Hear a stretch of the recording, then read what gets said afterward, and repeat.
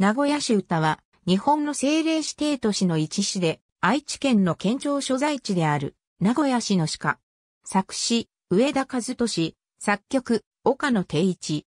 名古屋市が1910年の海部300周年を記念して、作詞を言語学者の上田和俊、作曲を東京音楽学校助教授の岡野定一にそれぞれ依頼し、同年2月28日に制定された。現存する鹿としては、前年に制定された横浜市歌に次いで2番目に古いものとされているが、戦後は演奏の機会が減少し市のサイトでも紹介されていないため、市民の間ではほとんど存在を知られていない。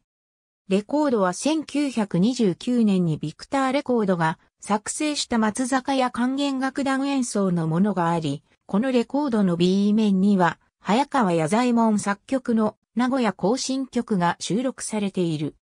名古屋市歌は2010年、名古屋開府400周年を記念して、キングレコードが発売したコンピレーションアルバム、名古屋の歌だがね名古屋開府400年記念 CD に CD 音源としては初めて収録された。名古屋市歌は、市、曲とも著作権の保護期間を満了し、パブリックドメインとなっている。1、2、名古屋市歌の他に、名古屋市が制定に関わった楽曲としては1930年に作られた名古屋市行進歌の存在が知られている。この名古屋市行進歌と早川弥左衛門が作曲した前述の名古屋行進曲、また1931年発売の大名古屋行進曲や1953年発売で初代コロンビアローズが歌唱する流行歌名古屋行進曲はそれぞれ別の楽曲である。